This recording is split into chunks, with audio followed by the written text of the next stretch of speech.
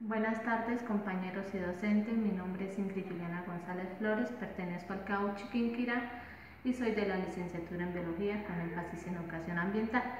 Con respecto a la pregunta del foro académico de cómo puede explicarse la existencia de los elementos químicos en la naturaleza, me baso en la teoría del Big Bang, la cual trata de una gran explosión que ocurrió hace más de 15.000 años donde toda la materia y la energía existente se concentró en un volumen muy pequeño con una densidad e inestabilidad muy grande, que al ocurrir la explosión todo comenzó a partirse en, en un proceso continuo a lo largo de los años.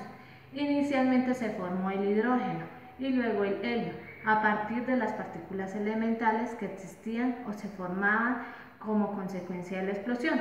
Sin embargo, el resto de los elementos no se podían formar en esas condiciones, pues el núcleo no soportaba tan altas energías a medida que ocurriera la explosión del universo.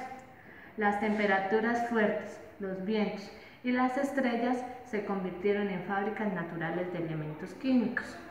Para concluir, la existencia de los elementos químicos proviene del origen del universo.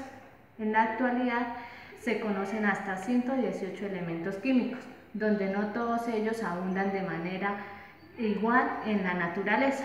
El elemento con mayor presencia en el universo es el hidrógeno, que es el combustible de las estrellas. Y en segundo lugar es el helio.